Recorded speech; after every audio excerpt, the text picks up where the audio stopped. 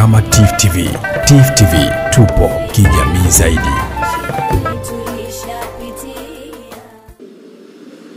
Wazee wa Chadema mnapokuwa mmeimarika mahali, wamama wanawaheshimu. Wazee wa Chadema mkiwa ni wazee waadilifu, vijana wanawaheshimu, vijana wanawasikiliza. Tumieni nafasi yenu ya ushawishi, tumieni nafasi yenu ya heshima mnayojijengea kwa umri wenu katika jamii mnayoiongoza, kwanza kusimamia maadili na matendo mema katika chama chetu, lakini pili, kufanya mambo yanayoakisi na sifa ya uzee ambayo mmepewa. Natambua katika asilimia kubwa ya wazee ni watu wenye hekima na busara, lakini tukubaliane, wako wazee wengine vile vile ambao bahati mbaya umri wao hauakisi maadili yao. Tunaomba wazee wa Chadema mkasimame kama watu wenye hofu ya Mungu, mkasimame kama watu wenye upendo katika jamii, mkasimame kama watu wa kuwasaidia na kuwashawishi na kuwaongoza vijana na kina mama ama vijana na watoto watambue kwamba katikati yao wanapokuwepo wazee, basi mambo mengi yanawezekana.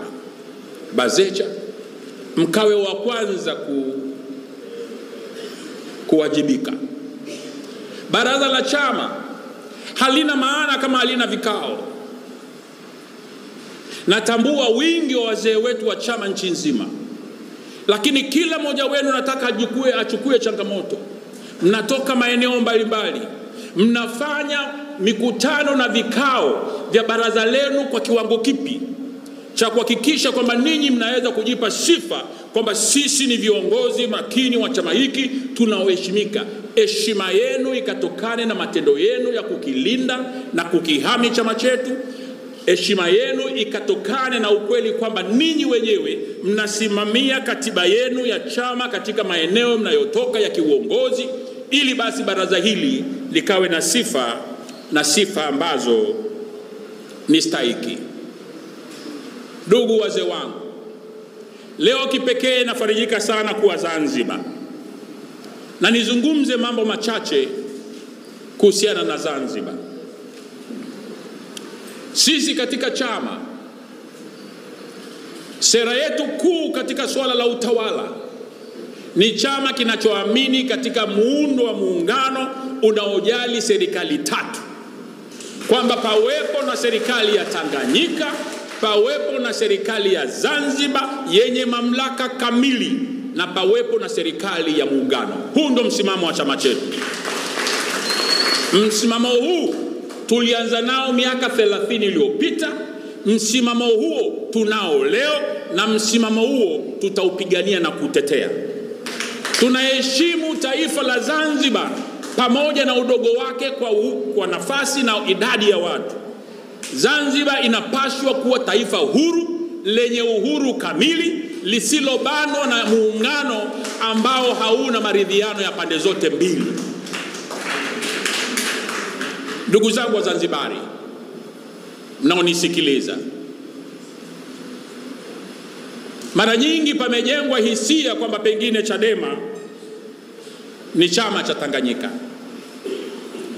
Chadema ni chama cha Tanganyika na Zanzibar, na sisi kuja hapa Zanzibar leo ni kielelezo kwamba tuko serious katika kuisaidia jamii yetu ya Chadema katika nchi huru ya Zanzibar ijiimarishe, tuwe na muungano wenye maridhiano ya pande mbili, tukiheshimu uhuru kamili wa nchi ya Zanzibar na mamlaka kamili ya nchi yenu, na muache kumezwa na hii kinachoitwa Jamhuri ya Muungano wa Tanzania.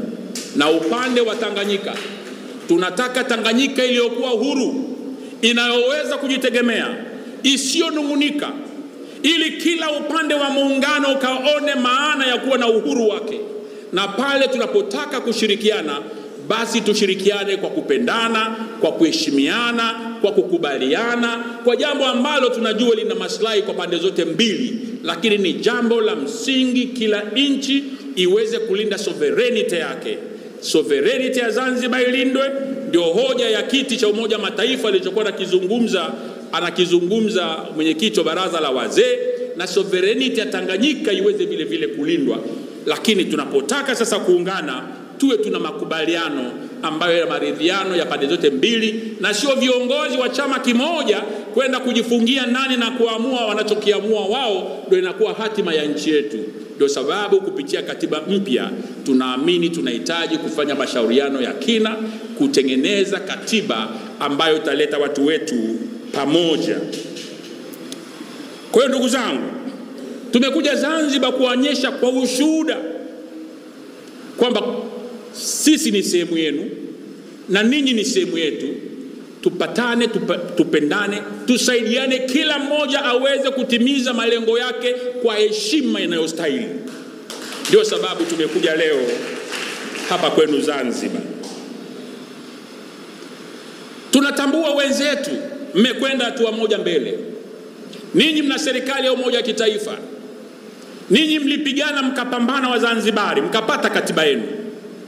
Yawezekana katiba hiyo haijaweza kukidhi kwa asilimia mia moja yale ambayo mnakusudia ama mnatamani yawepo, lakini angalau mwelekeo umeonekana, japo bado kuna matatizo na tunatambua kuna matatizo mengi kwenye serikali ya umoja kitaifa iliyoko Zanzibar, kwamba wenzenu wa Chama cha Mapinduzi pamoja kwamba ni sehemu ya serikali ya umoja kitaifa, lakini bado tunaona matendo yao na kauli zao kwa kiwango fulani hakijaheshimu vya kutosha vyama vingine vya siasa vilivyoko Zanzibar, hata vile vilivyoko kwenye serikali. Sasa mimi sio msemaji wao, lakini kazi yetu Chadema ni nini? Azma yetu kama chama cha Chadema ni kuhakikisha tunajenga chama imara Zanzibar ambacho kinaweza kuingia kwenye ushindani wa kisiasa wa kidemokrasia ndani ya Zanzibar, kinachoweza kutoa nafasi ya third alternative au mbadala wa tatu katika siasa za Zanzibar, ili katika siku zijazo Chadema in Zanzibar iweze kuwa sehemu ya serikali ama yenyewe iunde serikali, lakini zaidi cha maana kuliko vyote, Chadema Zanzibar ikawe ni mtetezi mkubwa wa haki za wananchi wa Zanzibar bila kubagua chochote, lakini mkisimama kama chama ambacho kinaamini katika haki. Hayo ni mambo ya Zanzibar, tunayaheshimu na tunawapenda, na kama nilivyowaambia, tumeleta na wazee wetu waje waione Zanzibar, watambue ya Zanzibar wako vizuri. Mko vizuri washikaji. Kwa hiyo ni kwa sababu hizo hizo, wazee wangu na viongozi wangu, tunapotengeneza programu za chama za nchi, hatutengenezi programu za Tanganyika tunatengeneza programu za Tanzania kwa maana ya Tanganyika na Zanzibar. Sasa hivi chama chetu kina programu kubwa sana, lakini inawezekana wengi hawajajua. Katika majimbo hamsini ya Zanzibar kuna operation inayoitwa plus 255 katiba mpya.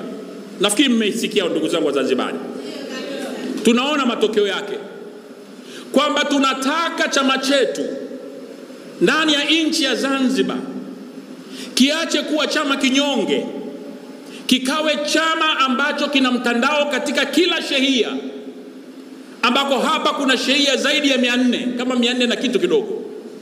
Kila shehia ikawe na wanachama wa Chadema, ikawe na viongozi wa baraza la wazee, pakawepo na viongozi wa baraza la kinamama, baraza la vijana na chama chenyewe, ili tunaposema chama kipo Zanzibar, sio kipo Zanzibar kwa maneno na, na, na bla bla, kiko Zanzibar kwenye mtandao unaopimika, ambao unafikika, unasikika na unashikika. Kwa hiyo sasa hivi tayari tumeanza GF kwenye majimbo ishirini katika hamsini kwenye awamu ya kwanza na ya pili. Lengo ni kabla ya kuisha kwa mwaka ujao, kabla ya, kabla ya mwezi wa nne mwaka ujao, tuwe tumefika kwenye sheria zote za Unguja na Pemba, tuwe tumefika na tumefanya chaguzi na mtandao wa chama wa kueleweka ambao unasajili kidijitali.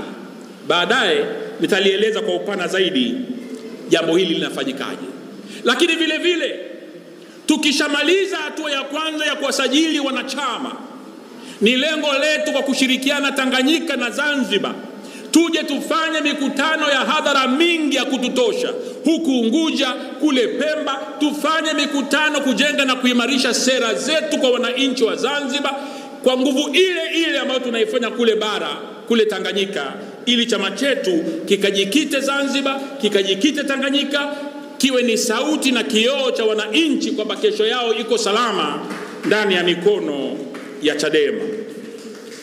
Kwa hiyo ndugu zangu wa zanzibari naomba hayo wote uyatambue. endeleeni kukilinda chama hiki. Kule bara shauri ya kukilinda Chadema imeshakatwa, sio hoja tena kule Tanganyika, lakini kwenu mmekipokea chama, tunawashukuru. Kiimarisheni, kipokeeni, ni chenu, sio chama cha Mbowe. Hiki chama ni chenu, kipokeeni, kijengeni, kitumieni, kiwe sauti yenu mnapodai haki, ustawi na maendeleo ya nchi yenu ya Zanzibar. Ndugu zangu, viongozi wenzangu, wote mnatambua kwamba tumetoka kwenye miaka saba ya kupita chini ya bonde la uvuli wa mauti. Tumeumizwa sana kama chama, tumeumizwa sana kama chama, lakini namshukuru sana Mungu kwa sababu yenu, kwa sababu wazee wangu mateso haya ya miaka saba yalipoanza mlikuwepo. Wako wengi walishindwa kukabiliana na bakora za mwenda zake, lakini ninyi wazee mlikilinda chama hiki, mlikipigania chama hiki, mkaumia kwa ajili ya chama hiki. Ni maeneo machache sana ulisikia wazee wameunga mkono juhudi. Vijana ambao tulifikiri ndio ngome na nguvu ya chama ndio walikuwa wa kwanza wa kuunga mkono juhudi, lakini wazee wetu mlio wengi mlisimama na chama, mkasimama kwa busara zenu, mkakilinda, mkakivusha chama hiki. Mnaponiambia Mbowe tuvushe, mimi sio wa kuwavusha, tuvushane. Ninyi mnakivusha chama na mimi nashirikiana na ninyi katika kukivusha chama, basi tuendelee kufanya hivyo, kwa sababu jambo hili ni jambo la heri kwa taifa letu. Kwa maana hiyo basi, tukitambua miaka saba ambayo tumepita kwenye bonde la uvuli wa mauti, ni wajibu wangu kama kiongozi mkuu wa chama na kamati kuu nayoiongoza, ni wajibu wa katibu mkuu na sekretariati anayoiongoza. Na ninyi viongozi wenzetu wote. Samani kidogo.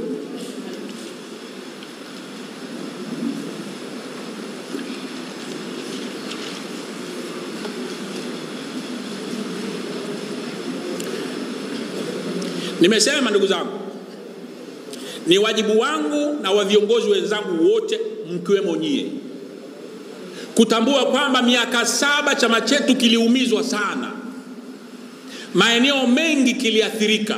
Ni ukweli usiopingika, maeneo yote, sio mengi, maeneo yote.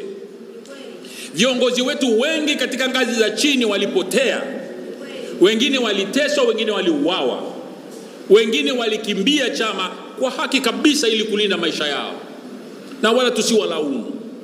Ni kazi yetu kubwa sasa tunavyoangalia na kutafakari kesho yetu, tutambue tuna wajibu mkubwa wa kukusanya yale makundi ambayo yalipotezwa au yalipotea, yarudi katika kukiimarisha chama hiki. Ni wajibu wetu wa kutambua na kusoma alama za nyakati za kutambua sisi kama chama kikuu cha upinzani katika nchi yetu tunafanya kazi kubwa ya kukipanga upya chama chetu. Tujipange tukiangalia somo tulilolipata kwa miaka saba ya bonde la uvuli wa mauti. Tulivyorudi tulisema, baada ya uchaguzi wa mwaka elfu mbili na ishirini ajenda kuu ya chama chetu ni katiba mpya, lakini pamoja na katiba mpya, tume huru ya uchaguzi. Mambo hayo mawili yalikuwa ya, yako na yataendelea kuwa ajenda kuu ya chama hiki bila ajizi. Tutatumia mbinu mbalimbali zinazostahili kufuatwa na watu wenye akili. Tutabadilisha mbinu kadiri mapambano yatakavyokuwa yanakolea. hatutakuwa na mbinu moja ya mapambano. Lazima tuwe na mipango mbalimbali mbali, mipango tofauti ya mapambano ambayo yote yanatulenga kufikia katika malengo yetu.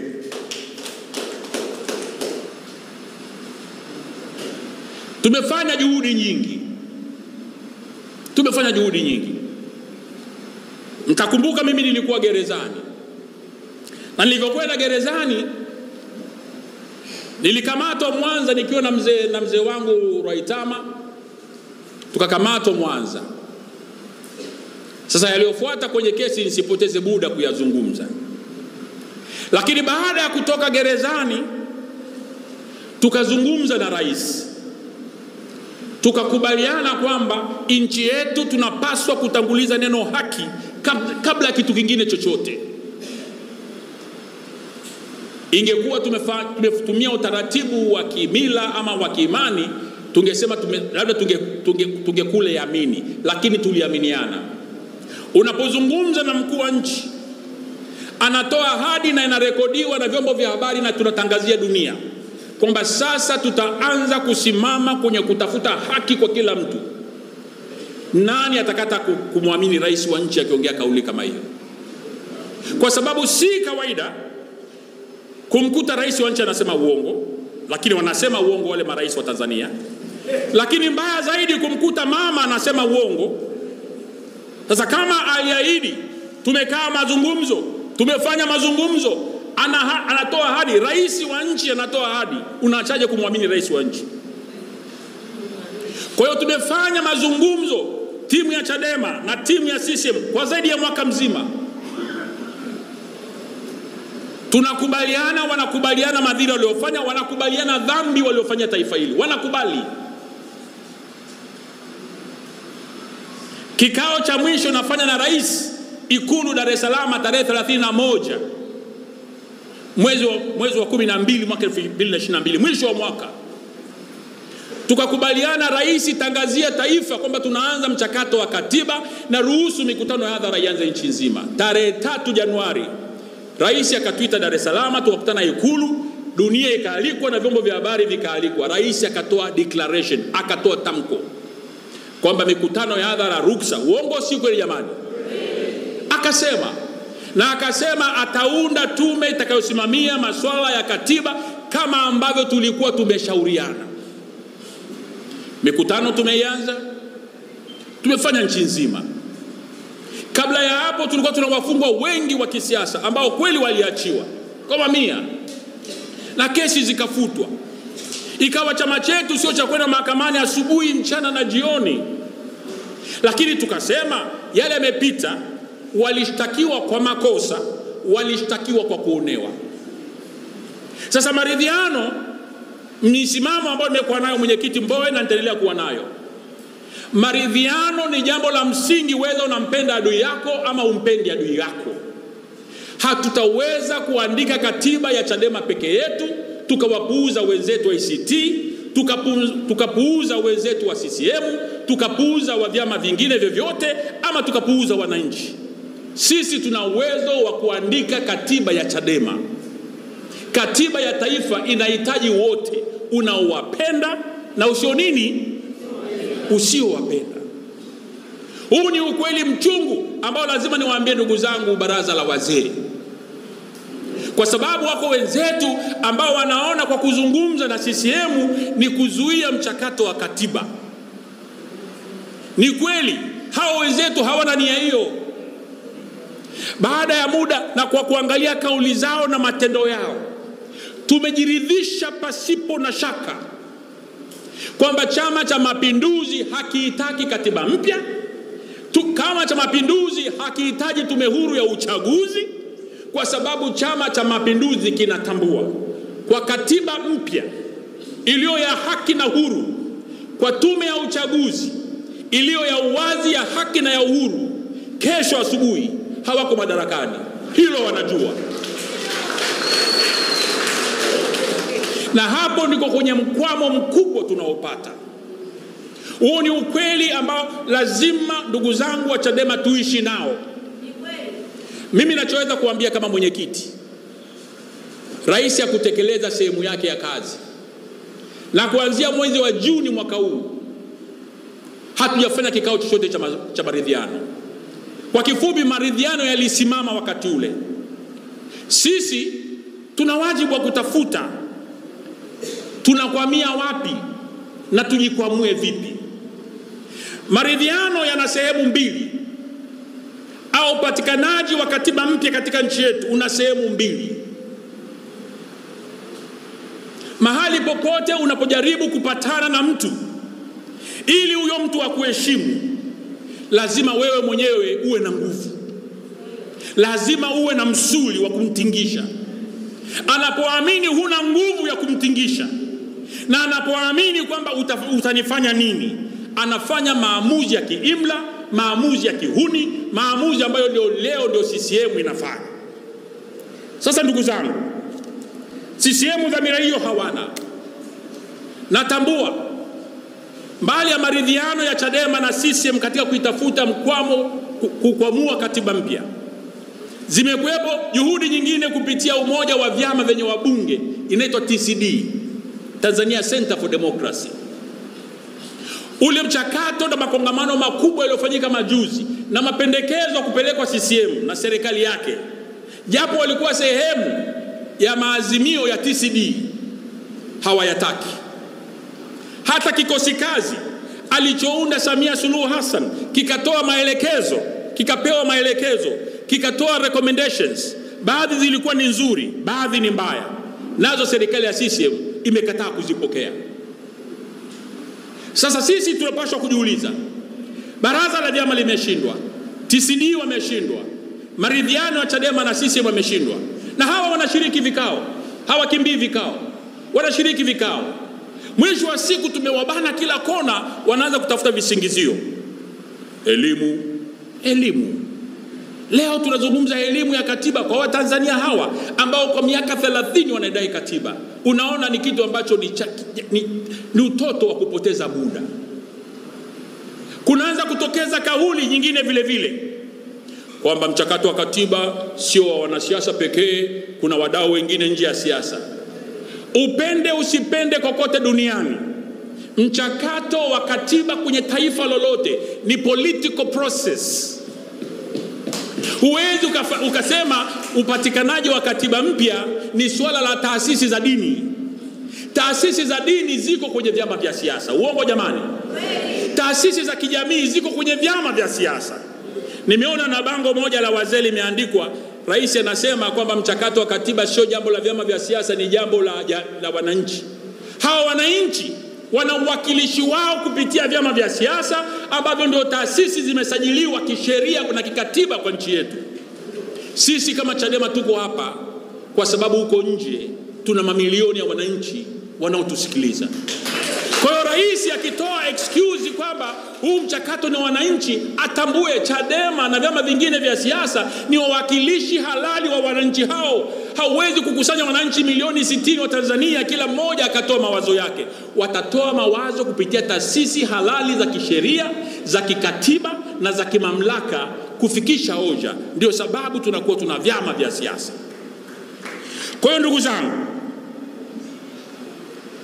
tutaongeza nguvu kitaifa na kimataifa, hatutakoma.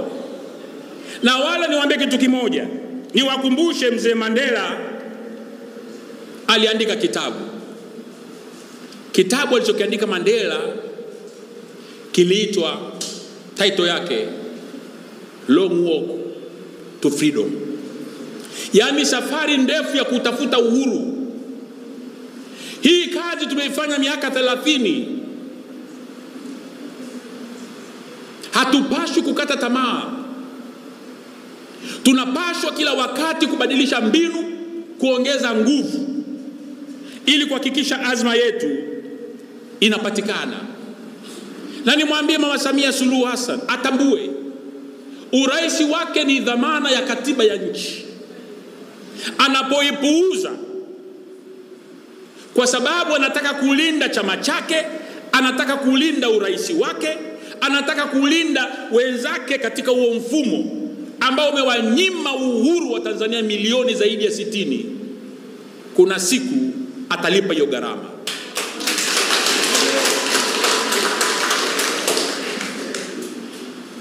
Nimesema na narudia, ili tuwe na sauti kama chama kikuu cha upinzani, lazima tujitafakari ni kwa nini pamoja na ukuu wetu bado CCM inaona kwamba inaweza ikacheza na Chadema. Tunapaswa kujiuliza swali hilo, na msiniulize Mbowe. Kila mwanachadema na kila kiongozi wa chama hiki kokote aliko ajitafakari. Wewe unatoka kwenye mkoa, umekuja hapa kama kiongozi wa mkoa wa baraza la wazee. Wazee katika mkoa wako wamejiandaa kiasi gani?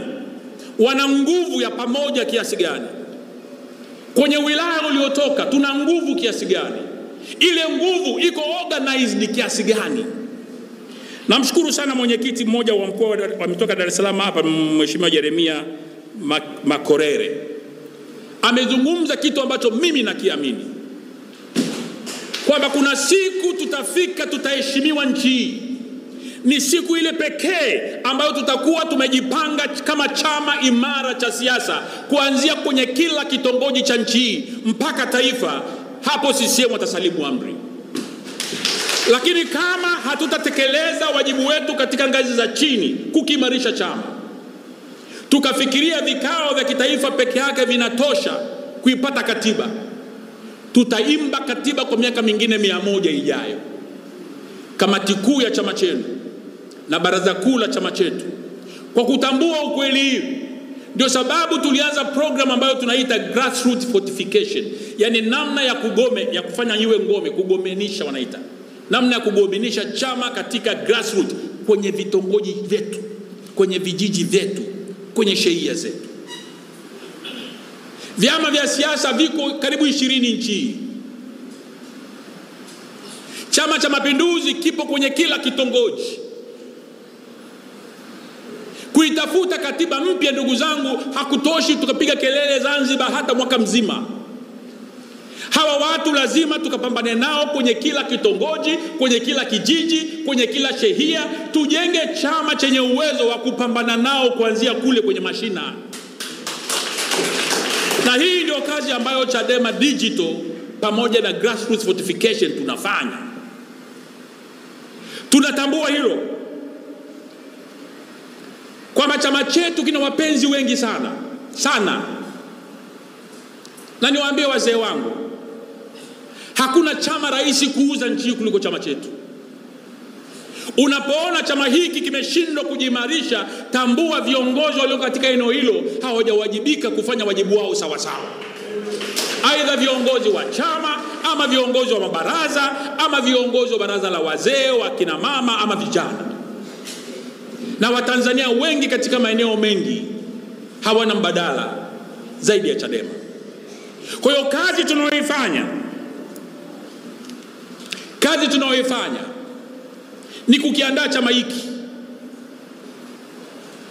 na ili chama kiweze kushinda vita yoyote, lazima kijiandae.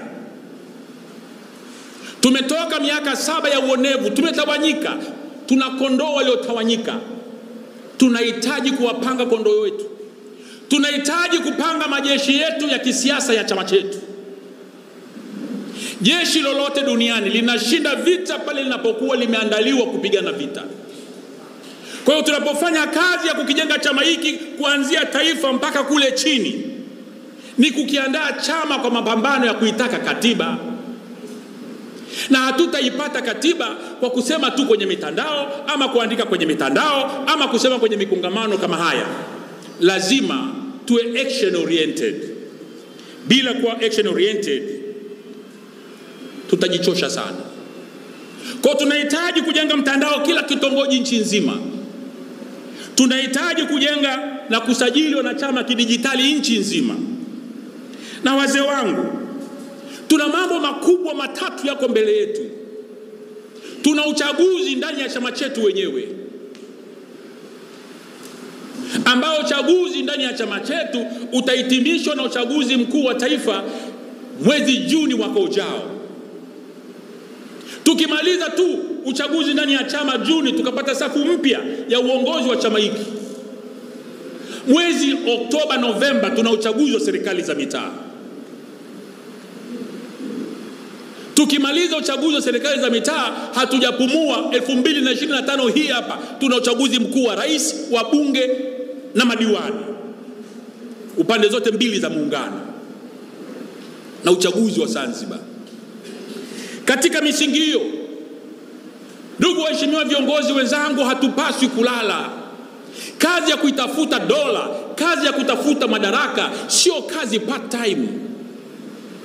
Wako wanasiasa wengi wa Chadema wanafanya kazi ya siasa kama ni kazi ya kupita tu, yaani kwa wiki nzima hujafanya kazi ya siasa, alafu unataka ubadilishe katiba.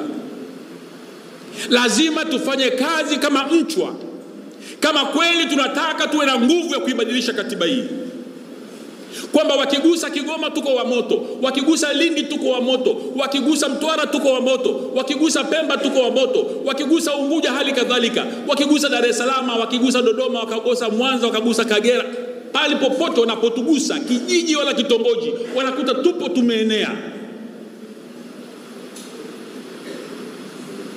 Na solution sio kujiwekea kwenye mawazo yetu kwamba hatushiriki uchaguzi. Kama tushiriki uchaguzi, tutaamua mbele ya safari. Chama kinahitaji kujiandaa, na ningeomba viongozi tukubaliane, tunahitaji ku, yani hatuhitaji kuwa na lugha ya kuogopa kushindwa. Tunahitaji wakati wote kujenga lugha positive ya kushinda.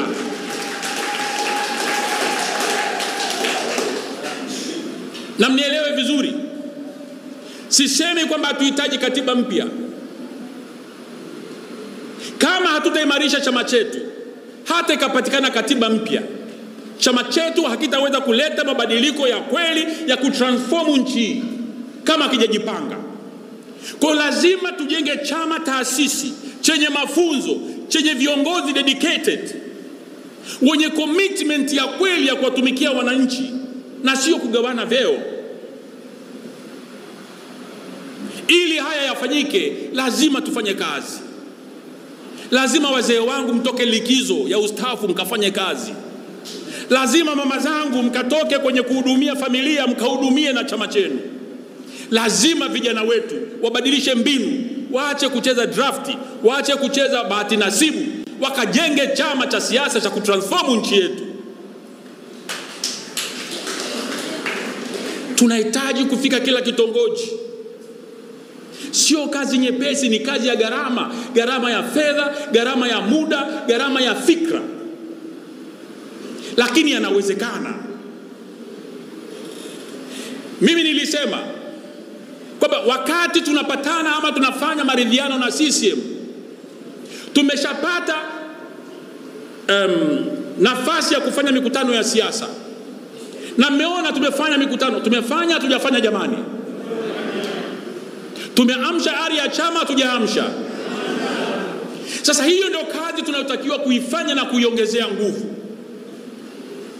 kwamba tunanyanyua chama nchi nzima bila ubaguzi,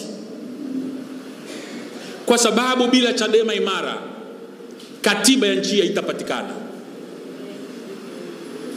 Kwa hiyo nasema hatupasi kulala, waheshimiwa viongozi.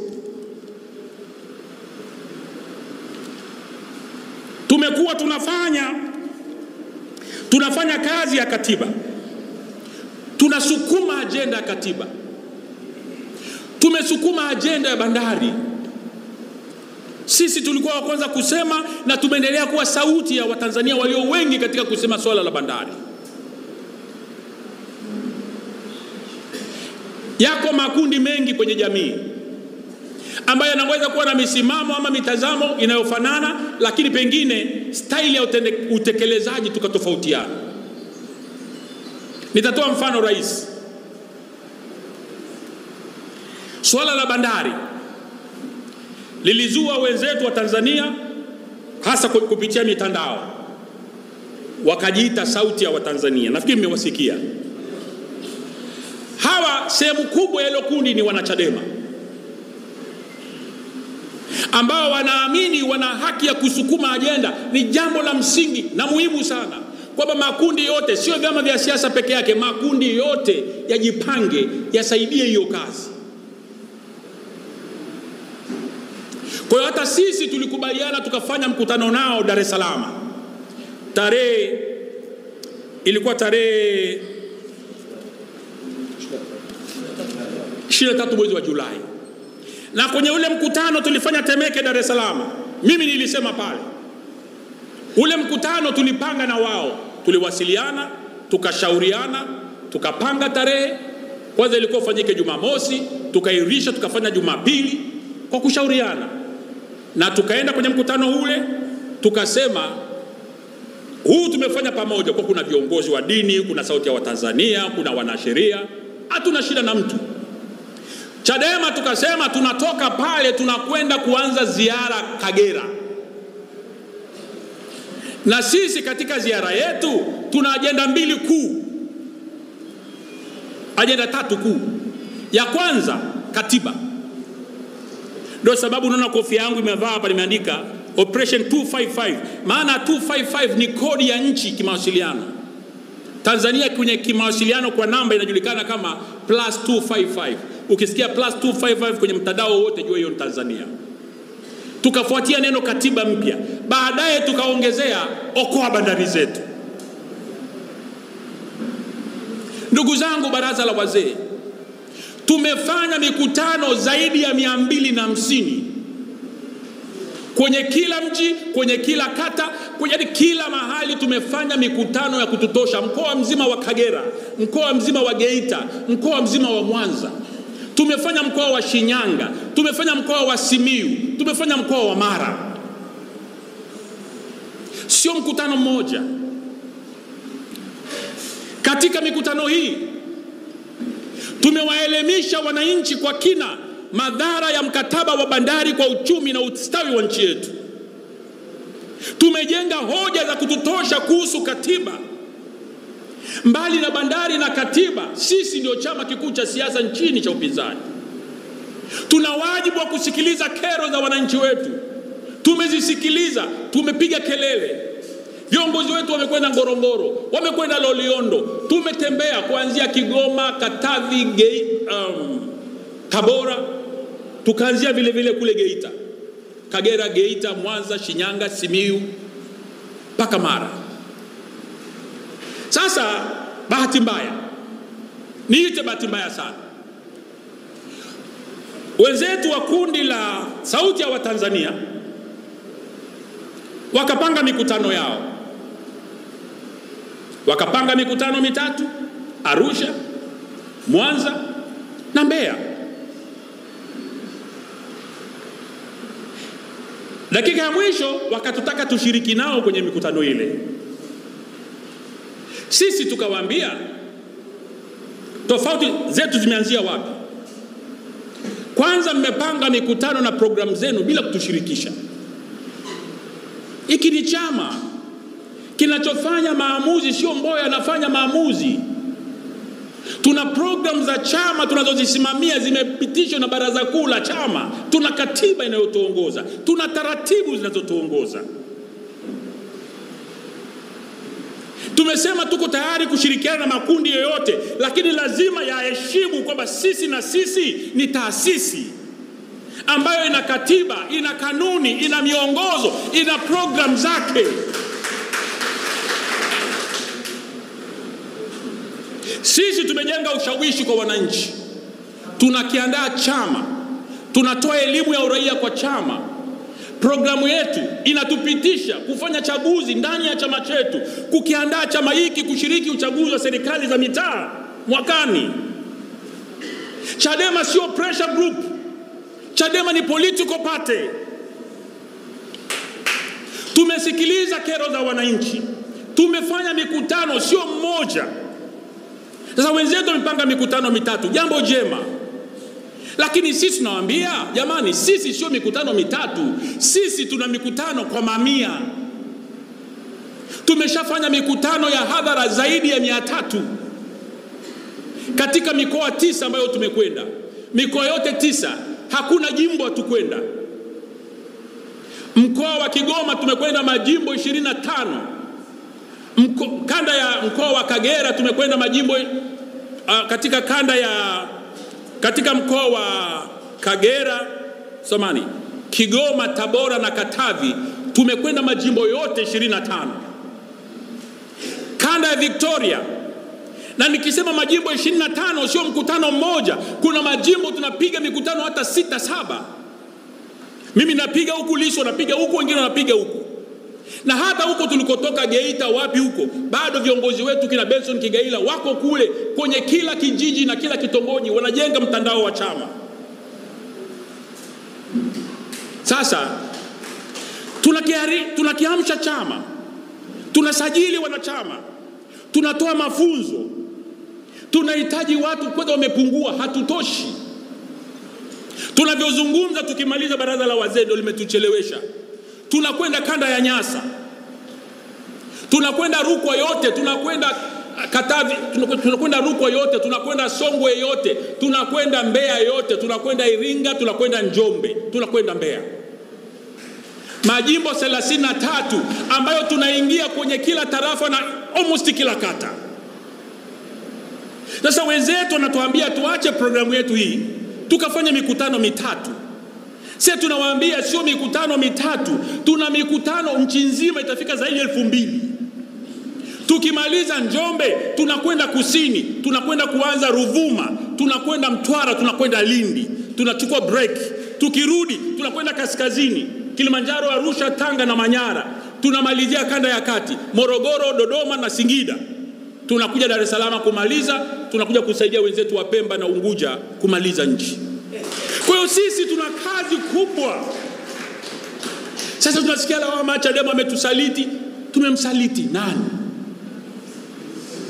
Huyo mwenye jeuri ya kusema Chadema tumewasaliti. Hivi kweli kuna mtu anazungumza ajenda ya katiba, ajenda ya tume huru, ajenda ya bandari kwa nchi hii na kuwafikia mamilioni ya Watanzania kuliko Chadema? Wazee mkinishauri kwamba mwenyekiti, tunakwambia achana na programu za chama, nendeni kwenye mikutano ya sauti za Watanzania. Asemeni, labda ndio mnataka hivyo.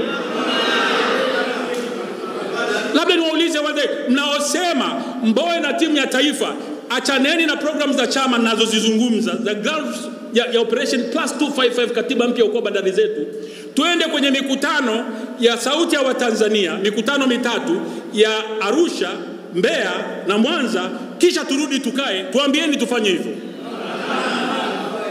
Wanaotuambia tufanye hivyo wanyoshe kidole juu. Wanaotuambia twende kwenye mikutano ya sauti ya Watanzania tuache programu za chama wanyoshe kidole juu. Wanaotambia tuendelee na programu ya chama na tuongeze nguvu wanyoshe kidole juu. Naomba niwaambie ndugu zangu wa Tanzania, wala watu wasije kafikia Mbowe ananongwa na Dr. Slaa. Mimi sina nongwa na Dr. Slaa, sina nongwa na mtu yote, lakini nawaomba waheshimu.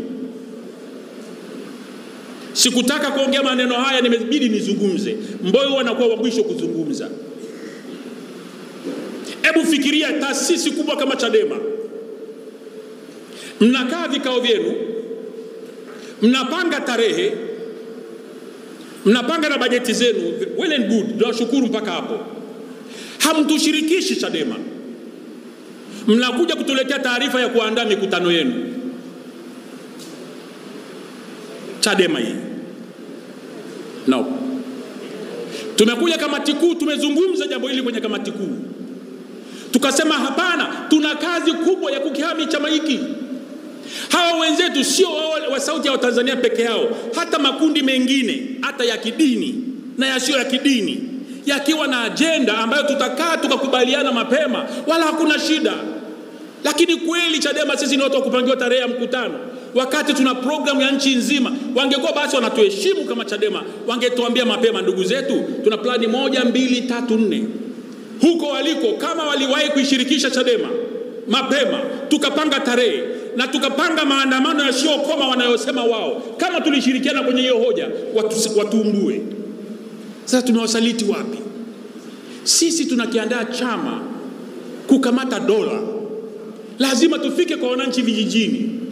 Ni gharama kubwa na nguvu kubwa tunatumia, tutolewe kwenye mipango na programu zilizopitishwa na Baraza Kuu kwa sababu eti tunataka kuwafurahisha watu fulani. No, hiyo mbo inasema hapana, tutakilinda chama hiki, tutakilinda chama hiki tukiheshimu uwepo wa wenzetu na nafasi ya wenzetu wa makundi mbalimbali mbali. Lakini ushirikiano wetu utajengwa kwenye mutual understanding, kwenye maelewano ya pamoja ya mapema. Wakituambia mbinu hii ndio itakayotuletea, na sisi tutawaambia mbinu hii ndio itakayotuletea. Tutashauriana, tutakubaliana. Tukishindwa kukubaliana, tutaelewana, kila mmoja ataendelea na programu yake, si ndio jamani? Kwa hiyo hatujafunga milango ya kushirikiana na yoyote, lakini sisi kama chama na mimi kama kiongozi mkuu wa chama hiki lazima nisimame kwenye kukilinda chama hiki kwa kila aina ya uwezo wa Mwenyezi Mungu ambao amenijalia mimi na viongozi na ninyi wazee wetu, kwa pamoja tukilinde na tukiokoe chama chetu. Ndugu zangu, nimesema tunakwenda kwenye grassroots kwanza kuwapata wanachama, kuwapa mafunzo wanachama, kuwajengea uwezo wanachama, kuandaa watu wa kuwa wa viongozi wa serikali za mitaa. Tunakwenda huko kuandaa madiwani, tunakwenda kuandaa wabunge. Hiki ni chama cha siasa, tuna malengo hayo. Ajenda zetu ni nyingi, na sisi kama chama kikuu cha upinzani ndio Watanzania wengi wanatutegemea kupitia taasisi hii tuweze kulivusha taifa na kufika huko ambako tunakusudia kwenda. Kwa hiyo ndugu zangu, naendelea kuwashukuru wale wa nyanda za juu kusini. Mungai, nimekuona hapa na viongozi wenzako wa Mbeya, mmeimba vizuri hapa. Tunakuja huko mzee, tutapiga kata kwa kata, anga kwa nchi kavu, yaani hatuna muda wa kupumzika. Tunaomba mtuandalie, mtupokee, mtusaidie hii kazi tukaifanye wote. Sio kazi yetu, ni kazi yetu wote, sio kazi ya viongozi wa juu peke yake.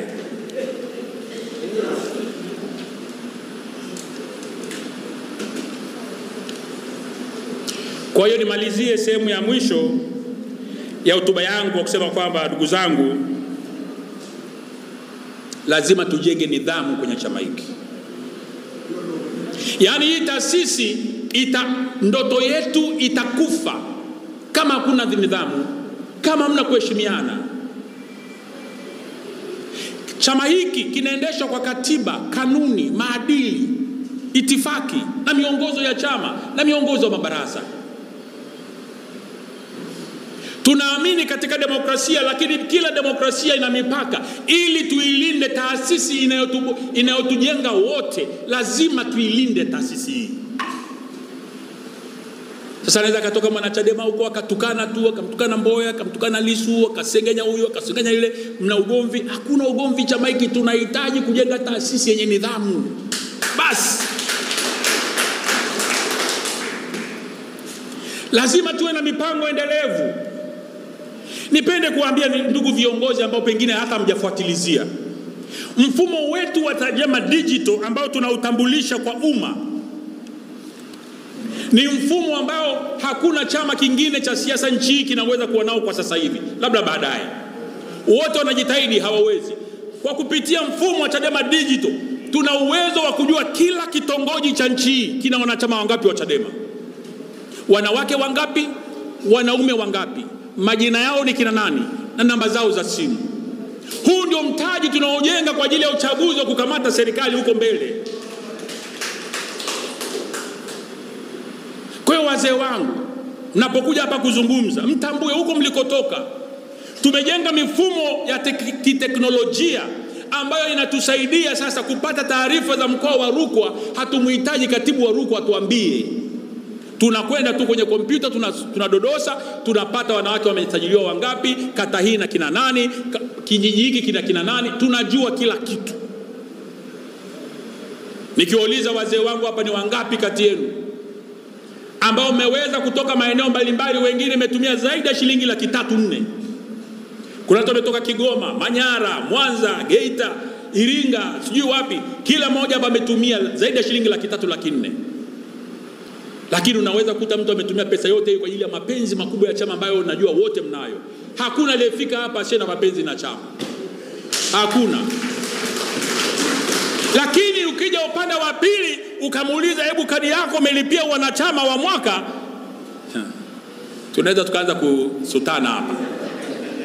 Kwa hiyo tunapokijenga chama kwa mapenzi hayo, mapenzi yaanzie kila kiongozi wetu awe ni mwanachama hai wa chama, asimamie jirani zake, kitongoji chake kina wanachama wangapi.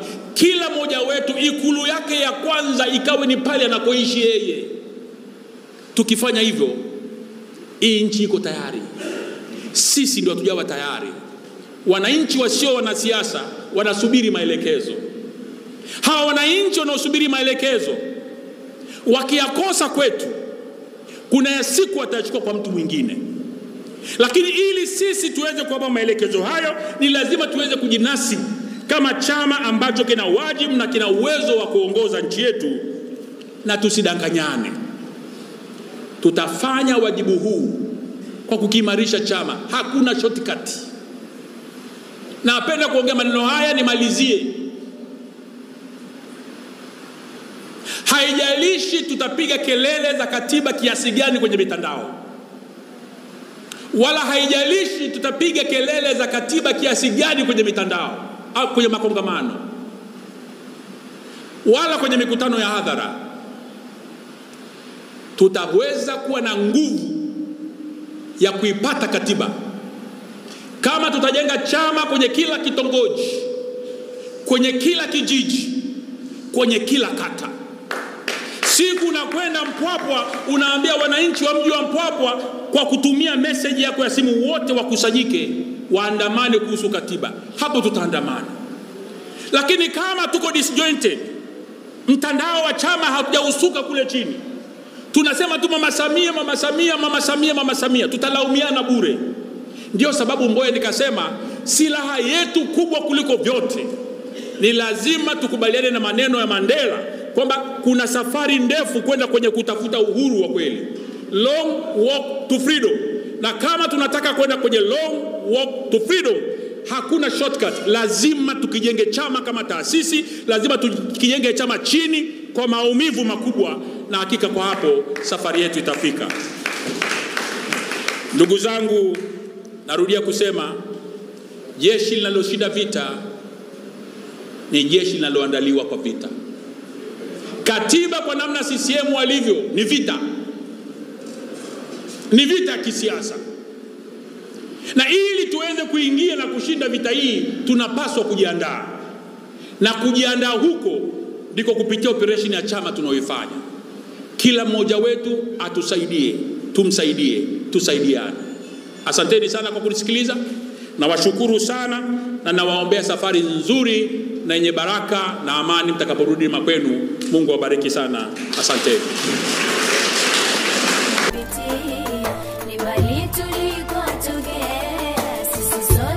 Tukiwa kama TIFF TV. TIFF TV tupo kijamii zaidi.